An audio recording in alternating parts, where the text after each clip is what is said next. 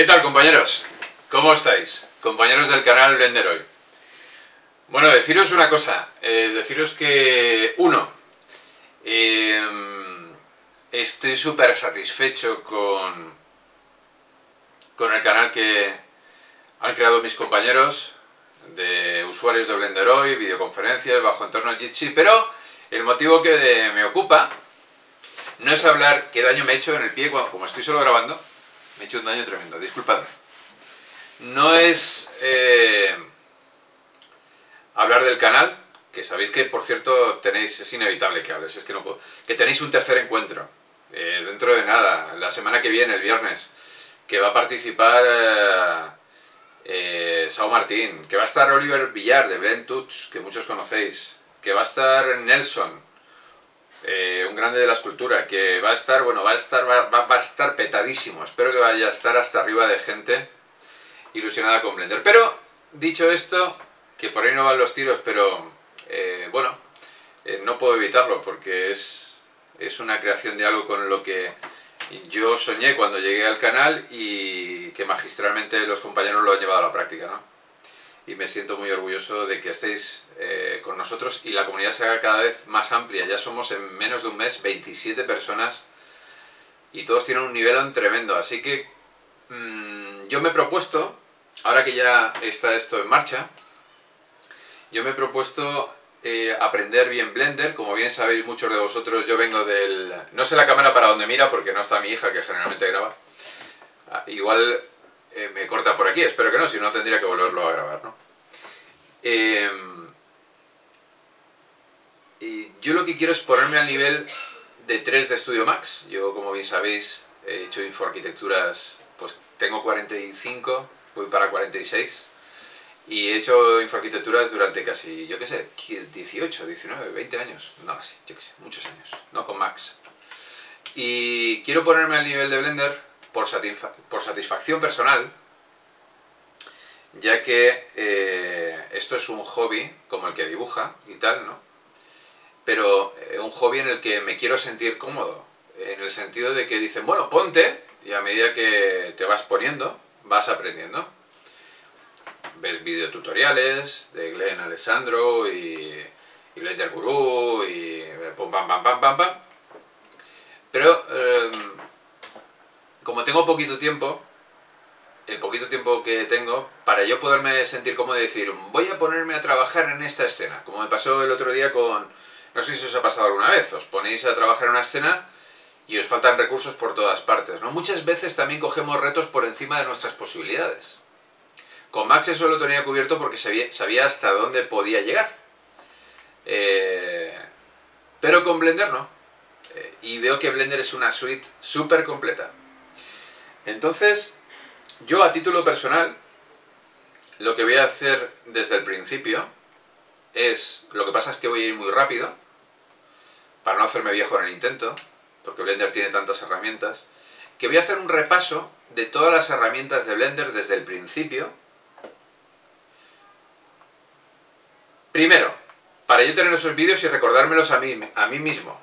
es una disciplina no sé si os ha pasado muchas veces cuando vais en el coche y hacéis algo después de un trabajo bien hecho, o un trabajo regular, o mal hecho también a veces.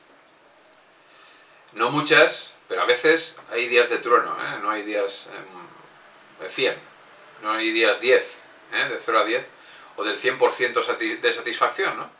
Y estás en el coche de camino, en ese, en ese viaje de 3 horas, de 2 horas y media, de una hora y media. Yo viajo mucho por mi trabajo que nada tiene que ver con esto, desafortunadamente ahora, en estos últimos 7-8 años, y le das vueltas y vas pensando y vas haciendo un recordatorio de lo que hiciste hace un mes, de lo que hiciste tal, cómo lo puedes mejorar. Pues yo con Blender soy así. Mis compañeros me decían del canal con los que he forjado una cierta amistad, muy buena gente, os recomiendo que entréis de nuevo al canal. Eh, eso no te incapacita para seguir entrando aquí, seguir presentando cosas y tal. Eh, no quiero que esto se considere, aunque me satisface, trabajo. Quiero que sea ilusión en su estado más puro. De hecho, eh, dejas, cuando estás aquí trabajando en tus hobbies, has traído, porque todos necesitamos nuestro propio espacio. Eh, me encanta la familia, pero vengo aquí porque mi mujer y mi hija entienden que yo necesito tiempo para, mis hobbies, ¿no? que es la electrónica, que veis aquí todos los cacharros, y es eh, el dibujo, es la postproducción, y desde hace unos meses es Blender, porque para mí Max no llegaba a ser mi, un hobby que me entusiasmaba. Max era la herramienta de trabajo con el que tenía que sacar mi día a día hace años, ¿no? Entonces, quiero hacer una serie de tutoriales, aunque no los vea nadie, no pasa nada, pero yo sí que los podré ver y decir, oye, me propongo hoy día, esto es un reto, ¿eh? esto es como el, el January no sé qué, que todos los días hacen un reto de hacer eh, monstruos, objetos, tal, de modelado, pues yo me voy a proponer un reto, compañeros. Yo me voy a proponer para evaluarme a mí mismo. Estamos a día 15 de enero del 2018.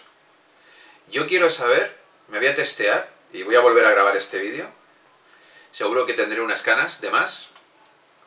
Yo no sé si por el sufrimiento o por la satisfacción o porque me he encontrado con el gran todopoderoso como Moisés y vuelvo blanco del monte. Pero me voy a proponer eh, del 15 de, de este mes al año que viene, 2019, saber qué he aprendido. Y voy a desarrollar una serie de tutoriales en los que voy a eh, combinar también mis conocimientos de programación. Sabéis que yo programo pues trabajo, programo en eh, Python, programo en Shark, en Python menos, porque hace, pero Python es muy fácil, porque no es complicado si vienes de Shark, Python es un lenguaje bastante asequible y recomendable porque Python se utiliza para todo, compañeros. De verdad, aprender Python, aunque seáis artistas. Eh, Python con librerías puedes hacer eh, programas, assets, para móviles, para tabletas, para entornos eh, de ventana, entornos tipo Windows. Puedes programar videojuegos en motores como Godot. Puedes hacer mil cosas con, si sabes Python, con automatizar cosas con Python en, en Blender, que es nuestro programa de referencia con el que lo pasamos también, ¿no? Entonces, voy a mezclar tutoriales desde lo más básico, pasando por las diferentes etapas, hasta incluir conocimientos de programación, scripts, algo así, lo que menos he dado pero que tengo que aprender porque me gusta. Me gusta, pero nunca lo he hecho, con lo cual mi intención no es ser bueno en todo porque yo considero que hay muy poca gente que sea generalista y que sea realmente bueno en todo.